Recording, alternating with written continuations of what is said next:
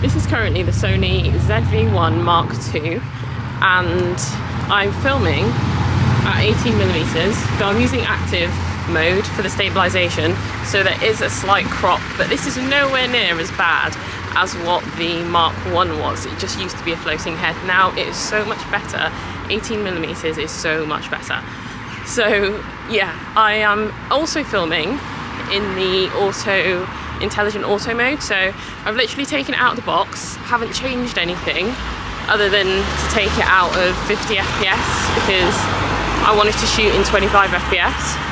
And so everything else is pretty much as it is, straight out of the box. The audio that you're hearing as well is coming straight from the camera. I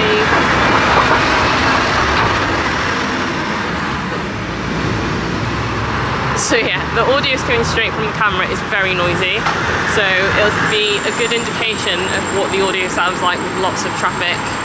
And I've got the furry windshield on, so it's not even windy, it's not really windy, but just for good measure, you never know if there's a little light breeze coming across. Oh, it is picked up now. But yeah, this is the audio straight from the camera. I haven't changed any of the audio settings either because you've got this uh, intelligent auto mode, so it'll just pick up your voice from whatever direction you're in in regards to where the camera is.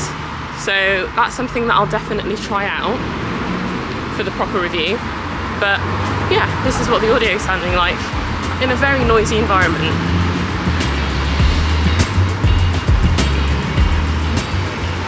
There's literally no other point to this video other than for me to just go out and get some footage and just try it out for the first time, just take it out of the box and I thought, you know what, why not share it with you guys as well? So my full review will come very soon.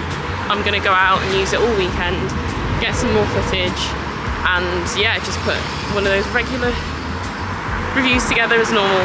So uh, subscribe if you haven't already and you want to see that, and I'll catch you next time.